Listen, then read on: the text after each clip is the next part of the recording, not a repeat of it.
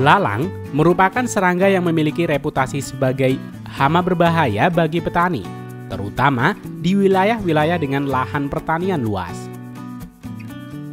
Ketika populasi tidak terkendali, belalang dapat menghancurkan hasil panen dalam jumlah besar dan menyebabkan kerugian yang signifikan bagi para petani. Namun di sisi lain, belalang juga telah dimanfaatkan oleh manusia sebagai sumber pangan selama ribuan tahun. Berbagai masyarakat di Asia, Afrika, dan Timur Tengah telah lama mengonsumsi belalang sebagai bahan dari budaya kuliner mereka. Konsumsi belalang dilakukan bukan hanya karena mereka mudah ditemukan, tetapi juga karena nilai gizi yang tinggi. Belalang merupakan sumber protein yang sangat kaya, bahkan lebih tinggi dibandingkan daging ayam atau sapi. Selain itu, belalang juga mengandung serat, vitamin, dan mineral penting seperti zat besi, magnesium, dan asam lemak sehat. Oleh karena itu, belalang semakin banyak dicari oleh konsumen yang peduli akan pola makan sehat dan berkelanjutan. Di Cina sendiri, khususnya di Provinsi Hebei, peternakan belalang telah berkembang pesat dalam beberapa tahun terakhir. Dengan meningkatnya permintaan pasar, Belalang yang dipelihara secara khusus untuk konsumsi memiliki nilai ekonomi yang menggiurkan. Harga jual belalang di pasar lokal Hebei bisa mencapai 70 hingga 100 yuan per kilo, tergantung pada kuantitas dan ukuran belalang. Pada video kali ini, Rekayasa Teknologi akan mengajak kalian untuk melihat tahapan proses pertanian belalang di Cina, tepatnya di Provinsi Hebei.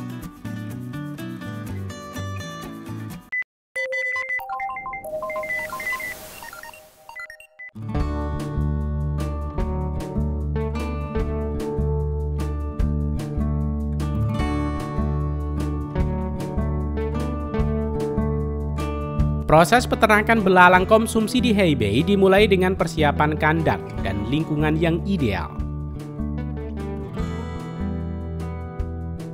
Peternak di provinsi ini biasanya menggunakan kandang berbentuk persegi panjang yang dibatasi oleh jaring khusus. Jumlah kandang dapat mencapai ratusan unit yang disusun secara berjejeran dengan jarak antara kandang dipisahkan oleh kolam kecil atau parit yang berfungsi untuk mengatur sirkulasi udara dan kelembaban. Setiap kandang memiliki kapasitas berbeda-beda, namun rata-rata mampu menampung sekitar 5.000 hingga 10.000 belalang per kandang, tergantung pada ukuran dan manajemen yang diterapkan. Peternakan belalang dimulai dari proses pembibitan yang dilakukan secara inkubasi terpisah. Bibit belalang biasanya diperoleh dari telur belalang dewasa yang dikumpulkan dan ditempatkan dalam wadah khusus.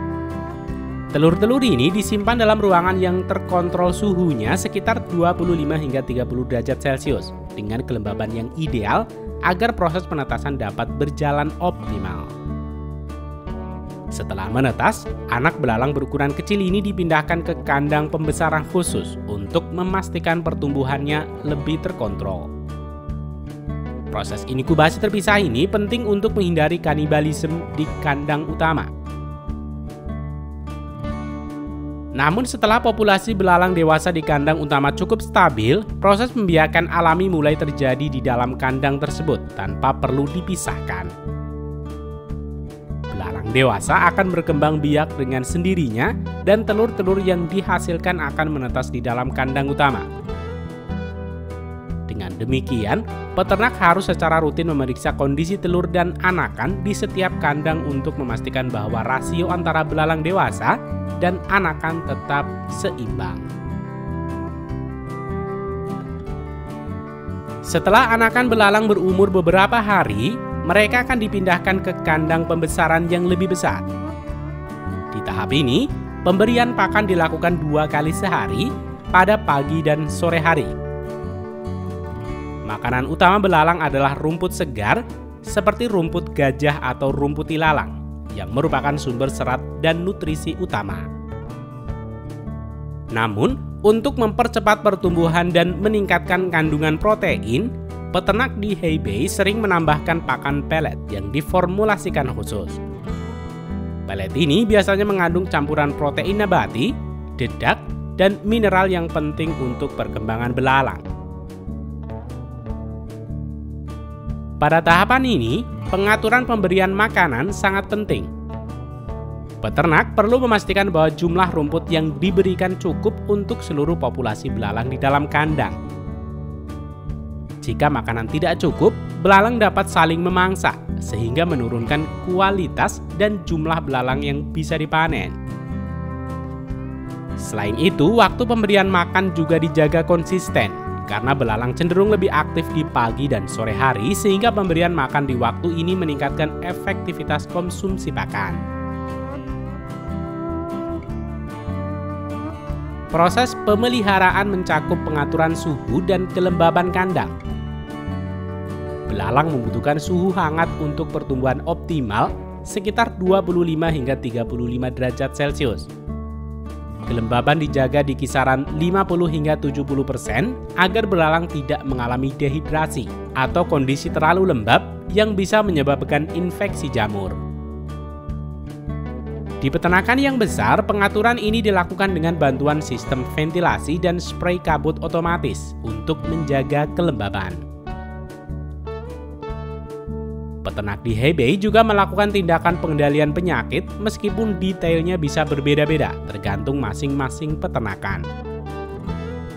Beberapa tindakan yang mungkin dilakukan adalah penyemprotan antiseptik ringan di sekitar kandang, penggunaan lampu ultraviolet untuk sterilisasi, atau pemberian suplemen khusus di pakan untuk meningkatkan daya tahan tubuh belalang. Panen belalang dilakukan setelah belalang mencapai ukuran dewasa, biasanya pada usia 4 hingga 6 minggu sejak penetasan. Panen dilakukan dengan cara mengumpulkan belalang secara manual menggunakan jaring atau wadah khusus. Di beberapa peternakan, belalang yang telah siap dipanen dikelompokkan berdasarkan ukuran dan dijual dalam bentuk belalang segar atau belalang kering. Setelah dipanen, belalang dibersihkan dan diolah sesuai dengan permintaan pasar. Proses pembersihan ini meliputi penghilangan sayap dan kaki karena bagian ini dianggap tidak layak konsumsi. Belalang segar biasanya dijual langsung ke restoran lokal atau diproses lebih lanjut menjadi produk olahan seperti tepung belalang atau cemilan belalang. Sementara itu, siklus dan manajemen peternakan belalang di Hebei cenderung aktif sepanjang tahun karena belalang dapat dipelihara dalam lingkungan yang terkontrol. Namun, produk biasanya menurun pada musim dingin jika tidak ada pengaturan suhu tambahan. Oleh karena itu, beberapa peternak menggunakan ruang pemanas atau kandang tertutup dengan pemanas buatan untuk menjaga suhu tetap stabil. Manajemen peternakan yang baik sangat bergantung pada kontrol lingkungan, kesehatan populasi, dan pemberian pakan yang optimal. Dengan manajemen yang baik, satu siklus produksi dapat menghasilkan hingga 50.000 belalang per kandang besar yang bisa dipanen dalam waktu satu hingga satu setengah bulan. Siklus ini dapat terus berulang jika anakan belalang tetap tersedia dan kesehatan kandang terjaga.